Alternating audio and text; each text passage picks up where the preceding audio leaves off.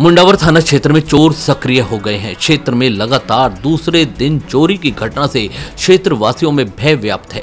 मुंडावर क्षेत्र के गाँव मुंदनवाड़ा कला में भाजपा मुंडावर के आईटी प्रभारी नीरज पंडित के घर रविवार रात अज्ञात चोरों ने घर के पीछे खेत में से दो कमरों के जंगले खिड़की तोड़कर घर में घुस गए। चोरों ने दोनों कमरों में रखे लाखों रुपए के गहने, जेवरात और नकदी चोरी करके ले गए।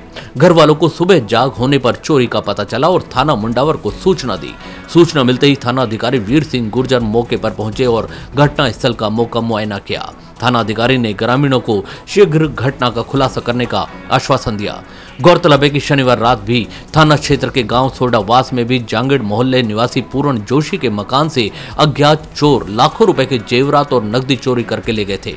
वहीं रविवार रात दोबारा मुंदनवाड़ा कला में लाखों रुपए की चोरी होने के कारण क्षेत्रवासियों में रोष व्याप्त है।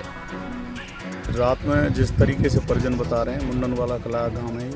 नज़दीक ही यहाँ से नदी है नदी से सापरा का शाहजहाँपुर का एरिया लग जाता है। जिसके घर में ये वारदात हुई है नीरज शर्मा नाम है इसका। इसके मकान के पिछवाड़े से जंगला फाड़ा है जंगला फाड़ के और कुछ नकदी और जेवरात की चोरी यही है कि कोई प्रोफेशनल गैंग है जो इधर उधर आस पास कहीं कोई शरण ली हुई है या कोई जॉब जॉब के चक्कर में आराम से दिन भर अपना काम करके और रात में चोरी कर रहे हैं।